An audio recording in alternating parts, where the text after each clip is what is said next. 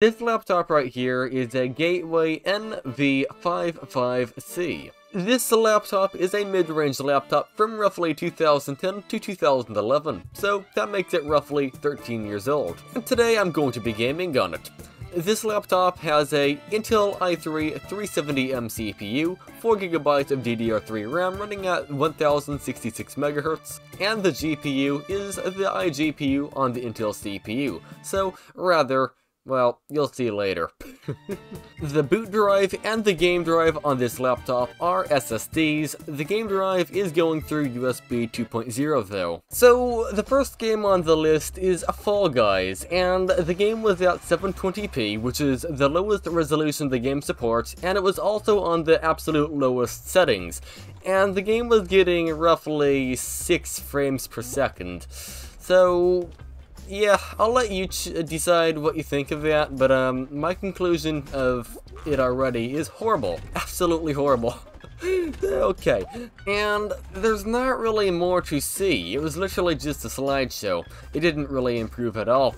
And I should also add, the RAM was maxed out and so was the iGPU, so it might have ran better if there was a tad more RAM, but again I don't have any more RAM. This has 4GB, not 8, so there's not much I can do about it. Bioshock Infinite at 480p on the very low settings was running at roughly 12 frames per second, which is very bad. I was expecting this game to run far better on the CPU and GPU, like at least 30 frames per second, not 12. That is impressively bad. I've never seen Bioshock Infinite run so bad. I also tried 240p on the very low settings, and it as well was very bad. It only got roughly 20 frames per second. Yes, that is a improvement over 480p, but that's still very bad performance, and the visuals were extremely bad as well. Keep in mind, that is a lower resolution than most phones were from 2010.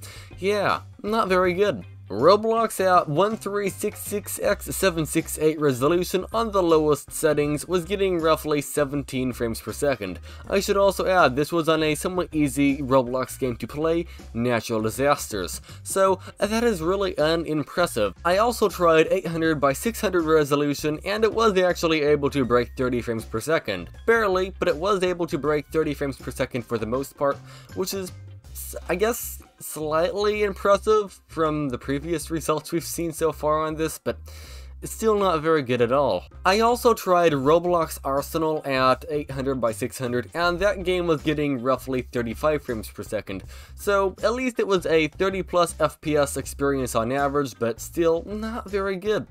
Sort of a trend with this laptop.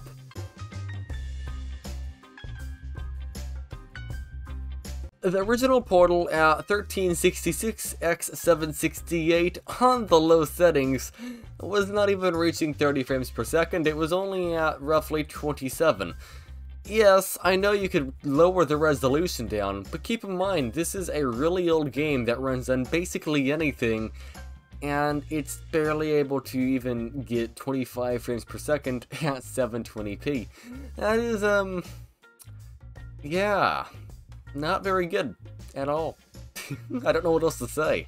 Minecraft Java had a really bad time, so due to the lack of OpenGL on this laptop, the newest version of Minecraft Java I could play is 1.16.5, and I was using the sodium mod with the phosphor and lithium mods as well, on the absolute lowest settings at 1366 by 768, and the game was only getting roughly 15 frames per second with huge stutters. Yeah, that is very bad. Like, very, very bad.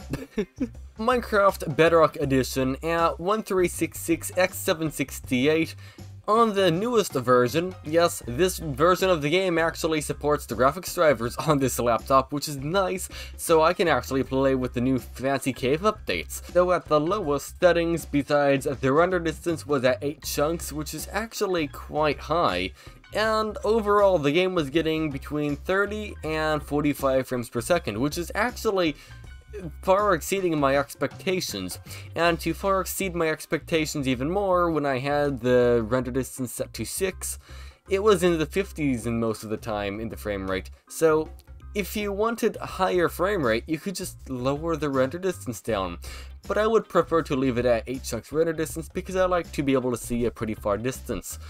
I'm pretty impressed. This is the game that actually ran the best on the list. I would have expected a game like Bioshock Infinite or Portal to far exceed the performance of Minecraft, but nope. Minecraft is the champion in terms of getting the best FPS today. And now for the games that don't work. So, Rocket League is the first game that didn't work, and all that happened was the RAM usage went up to 100% usage, and the game didn't open. Nothing happened. It just went over and crashed in the background, so... Yeah, mm, that didn't work. BattleBit Remastered also didn't work. What happened is, when I tried to join the shooting range, the game would just crash. There's not really much to it besides that, it just crashed.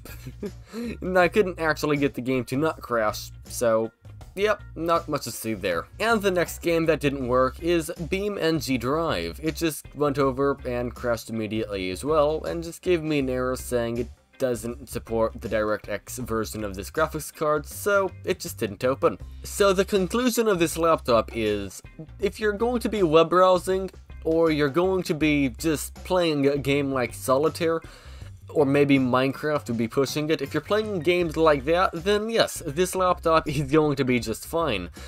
But if you're going to be playing games like Portal, which should be able to run fine on this, or really anything besides those few games I just mentioned, yeah, you're going to have a really bad time. So, only get this laptop for web browsing. Yes, the CPU is actually pretty decent, but the iGPU in it is the thing that really isn't good at all.